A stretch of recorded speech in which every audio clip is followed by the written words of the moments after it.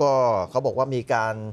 ตรวจบัญชีทรัพย์สินกันที่วัดแห่งหนึ่ง ก็คือวัดหนองกระดี่นอกนะฮะอยู่ที่อำเภอทับทันจังหวัดอุทัยธานีค่ะทำไมต้องตรวจ เพราะว่านะครับ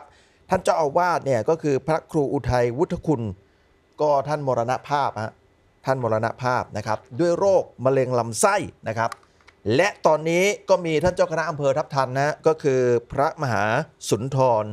สุนทรธนโม ท่านก็มารักษาการแทนเจ้าอาวาสอ่า หลังจากที่ท่านเจ้าอาวาสได้มรณภาพ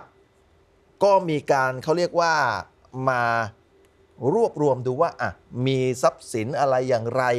บัญชีวัดอะไรอย่างไรนะครับนี่นะครับก็มีการเขาเรียกว่าเรียกคณะกรรมการวัดนะฮะชาวบงชาวบ้าน คณะสงฆ์เนี่ยมา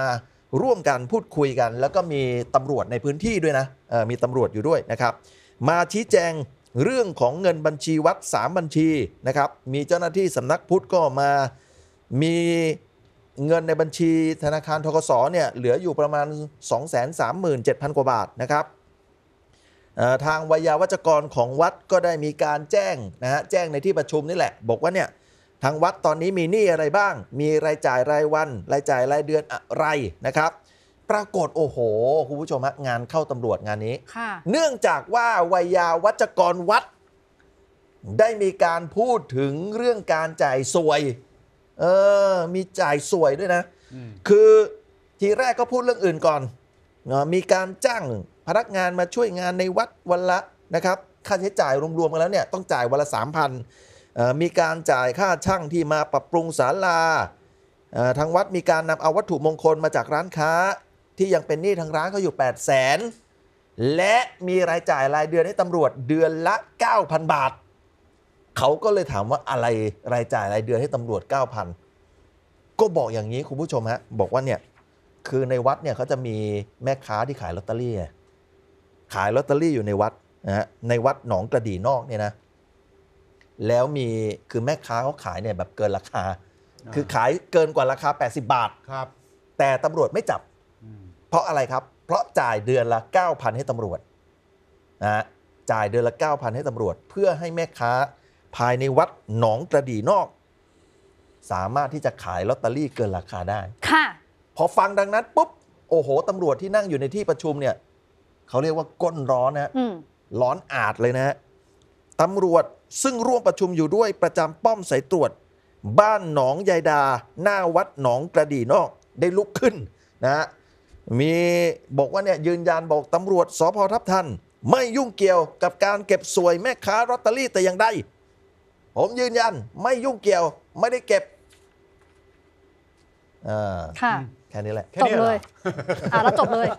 จงพูดห้วนแบบนี้เหรอ หลังจากนั้นทางเอ่อท่านรักษาการเจ้าอาวาสคณะสงฆ์เจ้าหน้าที่สำนักพุทธก็ไปตรวจกุฏิของอดีตเจ้าอาวาสที่มรณภาพไปแล้ว ก็ไปเจอแบงค์ร้อยแบงค์ยี่สิบอยู่ในกล่องพลาสติกแล้วก็มานับนับให้เป็นเงินสดนะครับก็ประมาณเกือบเกือบสามแสนโอ้เกือบเกือบสามแสนประมาณ2 9 8 0 0 0กว่าบาท แล้วก็ไปตรวจสอบกุฏิหลังที่ 2 พบเงินสดอีก 233,500 บาทนะฮะแล้วก็มีเขาบอกอยู่ในกล่องเพลนอีก 18,000 กว่าบาท รวมๆ ก็เอามานับรวมกันก็ประมาณ 549,990 บาทอื้อหือ นี่คือเงินสดนะฮะครับนอกเหนือจากในบัญชีธนาคาร 540,000 กว่าบาทเอ่อทางพระมหาสุนทรได้ส่งมอบให้กับพระครูอุโคตธรรมวิสุทธ์นำไปฝากเข้าบัญชีของวัดหนองกระดีนอกต่อไปครับนะครับอืมเอ่อส่วนเรื่องที่ตำรวจถูกวายาวัจกรแฉบอกว่าเก็บเดือนละ 9,000 ท่านตำรวจที่นั่งอยู่ในที่ประชุมก็ลุกขึ้นชี้แจงแล้วก็จบตรงนั้นเลยโอ้จบง่ายคือเนเรียกอะว่าเผชิญหน้ากันจะๆเลยใช่ไหมครับเออเออคือเขาเรียกว่าแฉกันแบบไม่ส่งสัญญาณเลยนะ